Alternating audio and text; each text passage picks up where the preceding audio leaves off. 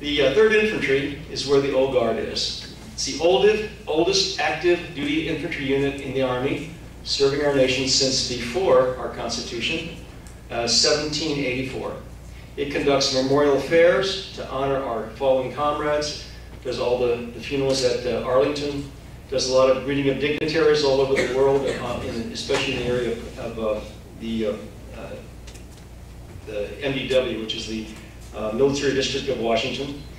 And what most people don't realize, it also provides defense uh, to a lot of the local areas. And because my particular company was a company, uh, our first initial, our first uh, uh, mission was to be the first line of defense for the President of the United States, as far as the Army was concerned. So here's an overview of the map. Isn't Google great? Um, a is Lincoln Memorial, so if you know that is a bearing point. You can run across the, uh, the bridge there. You're in uh, Virginia. And B is Arlington National Cemetery, and of course, uh, uh Fort Myer. C is the Pentagon, Pentagon. Uh, D is Fort McNair, which is where I was stationed, way down at the tip there of the, the Anacostia River and the Potomac come together. And E is um, National Airport, or Reagan, I think is what it's called now. This is a closer view of my particular post.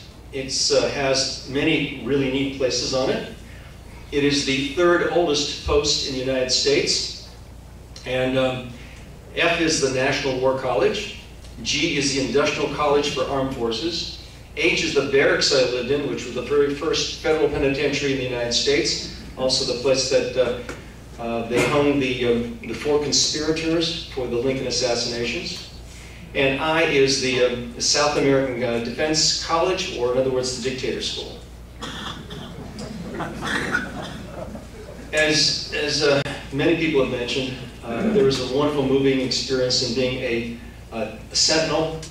Uh, I was not able to be a sentinel because you have to be between 5'10 and 6'4. You have to have a 30-inch waist. You have to have absolute perfect eyes um, you know, on and on. And I did everything except I just wasn't tall enough. I was a half inch too short.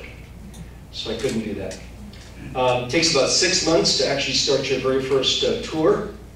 Um, and there are many, many traditions that go behind that. I was part of a firing party commander. I was part of a firing party and later became a firing party commander. There normally are eight people plus one. Eight are the seven people that actually fire the guns. The, the eighth is the actual sergeant, uh, and finally you have a bugler. They really stick to everything here. This is a photograph of my very first parade practice. Okay, and when we got back to the um, the barracks, um, I got talked to. I didn't have my eyes right enough, you know, but all those weapons, all those arms, everything had to be absolutely, completely parallel and straight uh, and they are real sticklers. And also, if you take a look at one of the uh, sergeants at the very bottom there, you see some clickers on his boots. Uh, all our boots had clickers on them, so that when you actually made a right or left face or whatever, you'd hear one great big chung And if you heard a bunch of chung you were definitely in trouble. We had many uniforms and many weapons. Um, I had just gotten there, so I had not been trained enough yet to do the, um, uh, the Doughboy program. Uh, but I was uh, qualified on a lot of different weapons, the uh, very antique, if you want to call it that, but an excellent weapon, the uh, 03 Springfield rifle, uh, the M1 carbine, the M14, which is what we lived with, the M16, M72 grenade, M79 grenade, grenade launcher, M72 Law, the 45 caliber, five different types of shotguns, etc., etc. We were an infantry unit. And we had some fun too. This is a dress down um, event where when you have the changing of the guard, or the should say the changing of command, uh, you get to dress down. So we got a new platoon leader, and so we got a chance to uh, to do that while everybody else had to be in uniform. And uh, the one in the corner there, um, I'm the one without the big ears. But every year, the Old Guard has a, a donkey baseball game, and all the proceeds that go to local charities. Reveille. you know what Reveille is? That's at 6 o'clock in the morning, and we shoot off this enormous cannon. Actually, it's a howitzer. And the, uh, right over the loudspeaker comes To the Colors. So we are talking a real, honest to goodness um, federal post. All right, and at 5 o'clock would be retreat, and that gun would go off again, and you'd play the national anthem. And I got a chance to do quite a bit of that, since I was a firing party commander, and we'd take our troops out there to make sure everything was good and clear. One year, someone decided they'd fill the barrel with golf balls, and they didn't clear it. And those balls took the uh, roof off the NCO club, and went, went over the, um, went over the, uh, I think it was the War College, and then finally crossed the Ana- Anacostia River and made some pretty significant dents in the naval uh, reserve station across the river. Here is the uh, cover and the inside uh, comments of the very first um, invitation I got to the White House. I was in the White House a total of nine different times for nine different, or for four different events. One time I was there actually uh, for about five days. This is the drill team for the uh, uh, Old Guard, uh, world renowned, and part of Company E, and they're just practicing here just before they get going. Now what they're doing is, if you take a look the ones where there's one in the middle, there's four on the sides, they're flipping the rifles so that their bayonets actually cross from ear to ear, go back the way, the nose to the head, go the other way. And those bayonets have to be completely straight. So they have some work to do. The other one, which is actually much more difficult to pull off, is when you've got this uh, four columns, and the very first person, without looking where he's throwing his rifle, is throwing that rifle back toward the back. Everybody in front of him has to push their rifle forward, all right, and he has to catch it without looking at it. And believe me, these all have bayonets on them, and this is a, uh, an asphalt uh, area that they uh, go ahead and uh, practice in, and I've seen those bayonets stick right in the asphalt. So you don't want to be uh, there when that is the wrong time.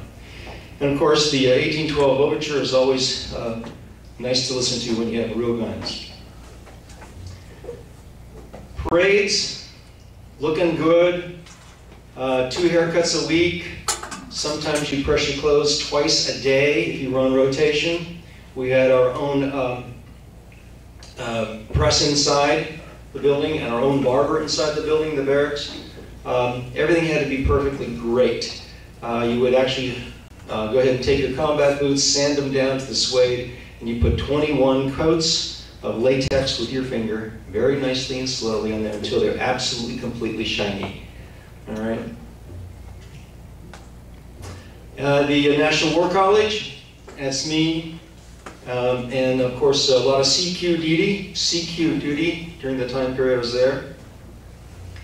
And practice, practice, and more practice. To be good, to do the, the way they expect, you have to do a lot of practice. And uh, matter of fact, we were the, as I mentioned, on the uh, the uh, Washington side of the river. So that means we had to take a bus over to uh, Fort uh, Myer. And while before the actual event or whatever we were doing, okay, we couldn't sit on the bus because they were concerned that we'd go ahead and put a crease in our pants. I was also attached to, uh, for eight and a half weeks, to presidential classroom for young Americans at the Shoreham Hotel. Um, and uh, I had a great opportunity to meet a lot of different people. And as you notice, there's a, a person you probably recognize, at least some of the older people may recognize. That's uh, General uh, William Westmoreland, at that time the Chief of Staff for uh, the uh, U.S. Army, and eventually becoming the Chief of Staff for all the ar- armed forces. You see the Chicago emblem there. One of the great things we got a chance to do at one of these programs is we had a lot of different entertainers come in, and we actually had the Chicago band when they were really hot come in, um, and I got a chance to move their equipment around until I got a ticket. But oh, that's another story. Um, there was somebody about um, well, it was in April. Uh, someone came up to me and said, "You know, you know," which was all excited, and you know who I'm talking about, don't I? Don't you, Lydia? Yeah. Um, she said, there's, there's Linda, Linda Hall knows you. She met you back when you were someplace in Washington, D.C. And sure enough, she was one of the classes. In those days, her name wasn't Hall. Um, but she was in one of the presidential classrooms, uh, presidential um, uh, classroom programs back in 1971.